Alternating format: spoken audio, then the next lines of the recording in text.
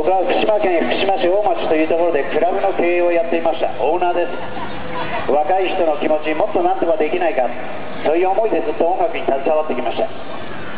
今回こうやってマイクを持って自分が政治家になる。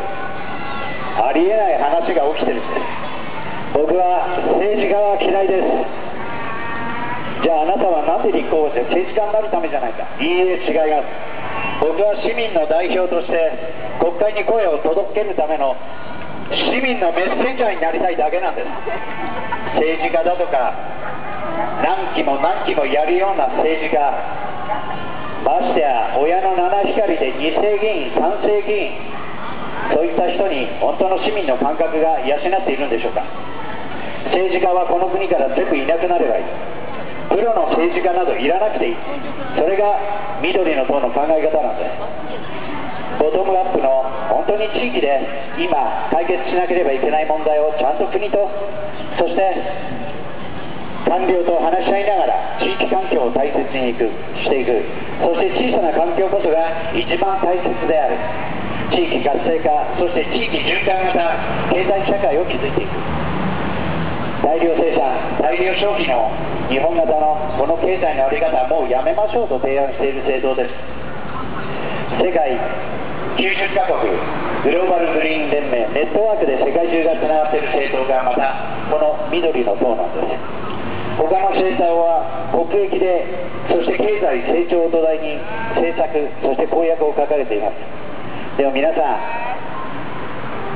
経済成長すると思いますか？日本はもう行き過ぎてるんです。皆さんの家庭には必要なものが大体ほとんど揃ってます。これは世界中のいろんな国から見てもありすぎるぐらい部屋が狭くなるぐらい。ましてや断捨離というブームが来るぐらい部屋には荷物が溢れてる。いらないものばかり買わされてるんです。それも安いもの壊れるものばかり。これをいつまで続けるんですか皆さん。世界中の国々が日本のようになったらこの地球は終わりなんですよ。その中で高度成長を遂げた日本はもう行き過ぎてるんです。地球を壊そうという。車の数も見てみなさい。公共機関を使わないから赤字になるという矛盾をいつまで地方行政続けるんですか。もっと駅前周辺交通の便のいいところそういったところに地域をコミュニケーションをそういうコミュニティを形成しそして郊外には安心安全な野菜を作るそういった農家の皆さん大規模農家なんかいりません。小さな農家の方々がそれぞれに自営業者として成り合いを生活していく。そして遠く北海道のものがここ九州で買う必要なんかないんです。ここでも十分美味しいじゃがいももさつまいもも取れるんです。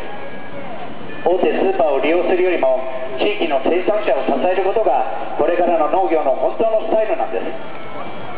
何でもかんでもお金で買えばいい。それはもうやめましょうよ。お金をあまり使わなければそんなにせこせこ働かなくてもいいって単純明快なライフスタイルなんです。でもお金ばかりに頼る。そして教育も間違ってこの日本戦後からずっと経済発展届く。現在まで来てしまいました。借金しながら車も買えたり高校生で車を持っていたり他の国では考えられないことなんです。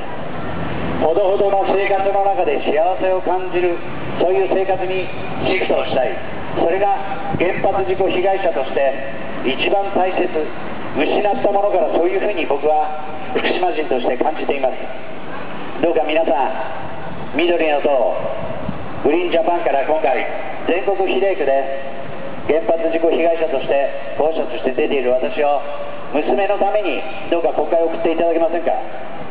僕は娘のために九州へ避難してまいりました。可愛い娘なんです。まだ2ヶ月だった頃こちらに家族で連れてまいりました。今じゃ立派に九州弁喋ってますよ。今日も朝一緒に出かけたいと泣きすがってきました。どうですか皆さん？僕は普通の政治家でも何でもない。自分の娘を持ってる。そういう候補者です。それと同じように子供を大切に思ってるお母さんお父さん一緒にこの日本の環境を変えましょうよ。そろそろ。経済発展するよりも僕は日本はもっと成熟していくと思ってました。間違った方向に行かないと思ってました。でも生活するために夫婦で共働きをし子供のそばから離れるようになり不登校や引きこもりが起きてしまいました不登校や引きこもりの子供が悪いんじゃないんです。そういう子供を生み出してしまった大人が作ったこの社会が悪いんです。子供の体も見てアトピーやアレルギーや昔はいませんでしたよこんなに。これは行き過ぎた社会環境汚染。そういったことに気づかずに贅沢と思い大量生産大量消費の中でこういう生活を過ごしてきた日本人が悪いんです。ここで一回この経済を緩やかにしそして働く時間も抑えて家族といる時間仲間といる時間音楽を楽しむ時間彼女と映画を見に行く時間そういった時間という概念で幸せを感じるようになりませんか？お金では幸せ。あお母さんお母さんお母さん。お母さん靴落ちた。靴落ちた。いいえ。子供に優しい木村祐一です。やはりね娘を持つ親になって思います。皆さんお金が幸せの価値なんじゃない？時間をどう使うかが幸せの価値観のレベルだというふうに僕は福島ふるさとをなくしてそう思います。地元がなくなったことそして使えなくなってしまった土壌今でも悲しんでいる福島の人東日本の人仲間友達家族そういったことを考えるとこういう原発事故被害者がこの2年間この日本を見てきて感じるのはやっぱり政治に出ていくしかない。本当はやりたくないんです